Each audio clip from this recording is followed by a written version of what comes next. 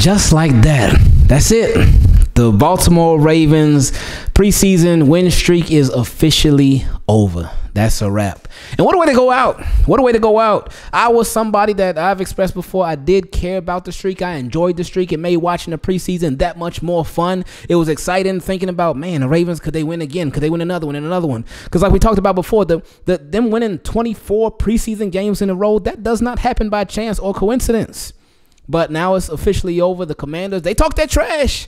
Sam Cosmi, he talked this trash. He said, We are going to end the streak. We're going to beat it. And they did. They did. So congrats to the Commanders. They were out there celebrating. It was it. This felt like a regular season game, man. It really did. It had the vibes of a regular season game. I saw somebody in our live stream. They commented. They were like, "Man, it's the game of the year already, and we still in preseason." Because it was. It was. It had highlights. It had action. It had drama. It had everything, and it came down right to the very, very, very end.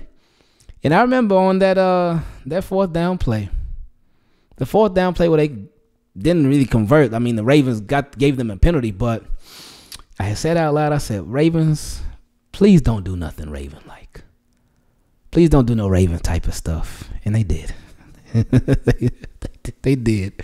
They did. They did. But um it was fun. It was fun.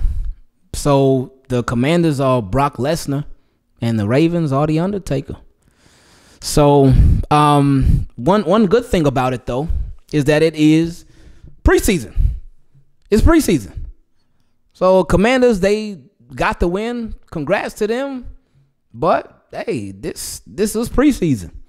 Uh, and we of course are going to talk more in depth about the game tomorrow, but the streak being over, that like it really changes the way we look at preseason now. At least for me, it does. It changes a little bit. It changes the excitement of the games a bit. It, it just changes because the streak isn't on the line anymore. So now it's like, oh man, like after all that, since 2015, that's eight years, man. Since 2015. And now you got to start over. You got to start all the way over. But I, I wonder now if moving forward, uh, John Harbaugh will treat the preseason differently. Uh, more so maybe like after this year. But I wonder if going to treat it differently now. Uh, and I wonder if there's going to be not necessarily less trying or whatnot, but I, I just wonder if he's going to treat it a bit differently because the streak is done. The streak is done. Uh, but I guess we'll see. But again, congrats to the Commanders, man. Congrats to them. This was a personal game.